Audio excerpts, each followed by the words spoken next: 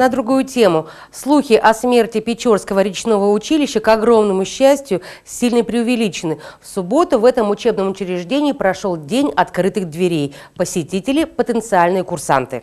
Ученики старших классов школ города и района своими глазами увидели, где им предстоит в будущем учиться. К тому же специально для них организовали мастер-классы в кабинете ОБЖ по навигации и судовождению. В конце июня состоится официальный набор курсантов. Научное отделение набирает курсантов на три специальности – судовождение, судомеханика и электромеханика. Огромный плюс этого учебного учреждения – печорские выпускники могут бесплатно получить специальность в училище, а потом также бесплатно и высшее образование.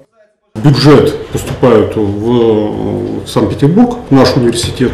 Вот, значит, э, ну, как правило, только на эксплуатационные специальности. Это то есть тоже судомеханики, электромеханики, судоводители. Э, Льготы какие? Ну, во-первых, э, ребята у нас, ну, я думаю, что это ни, для кого не секрет, мы обеспечиваем бесплатным бронированием, питанием.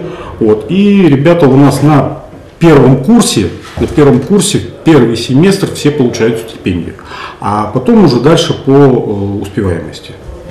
К тому же после окончания ПРУ стопроцентное трудоустройство, причем не только в пределах республики.